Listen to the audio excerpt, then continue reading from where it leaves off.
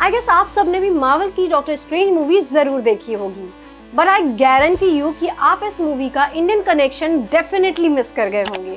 Movie में accident के बाद डॉक्टर स्ट्रेंज अपने ट्रीटमेंट के लिए नेपाल जाते हैं। और वहाँ कमरताज नाम के ट्रेनिंग ग्राउंड का वाईफाई पासवर्ड पूछने पर उन्हें ये लिखा हुआ मिलता है।